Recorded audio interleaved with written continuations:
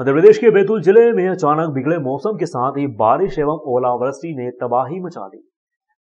आमला क्षेत्र में रविवार की शाम भारी ओलावृष्टि हुई, जिससे खेतों में खड़ी गेहूँ की फ़सल चौपट हो गई। वहीं कच्चे मकानों के छप्पर तक टूट गए।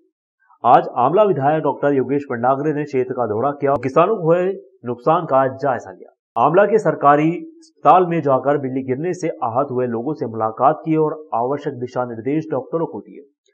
आमला सहित विकास खंड के एक दर्जन से ज़्यादा गाँव में रविवार की शाम बारिश के साथ ओलावृष्टि हुई।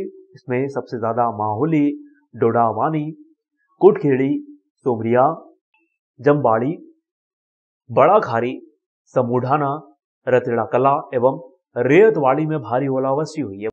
बताया जा रहा है कि गाँव में कहीं कहीं आंवला के आकार के तो कहीं बेर के आकार के ओले गिरे हैं।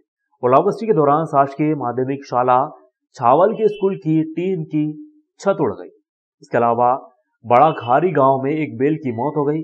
खेतों में जहाँ फ़सल काटने के लिए तैयार खड़ी थी, ऐसे में बिन मौसम बारिश व ओलावृष्टि के चलते किसानों को भारी नुकसान उठाना पड़ा।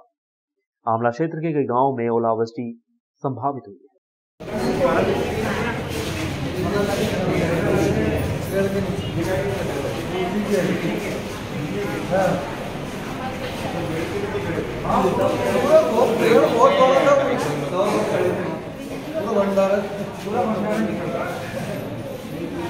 हमेशा ये जानकारी देते हैं जब भी अगर